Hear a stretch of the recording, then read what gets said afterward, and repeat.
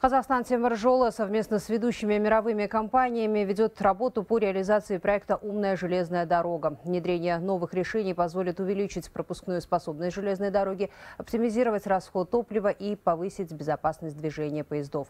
Об этом президенту сегодня доложил глава нацкомпании, сообщает пресс-служба «Аккорды». Другие детали проекта не сообщаются. На встрече с президентом Нурлан Сауранбаев отметил, что в прошлом году грузооборот увеличился на 7%, а объем транзитных перевозок на 18%. Главе государства также была представлена информация о завершении строительства грузового терминала в сухом порту города Сиань, расположенном в крупнейшем логистическом хабе Китая.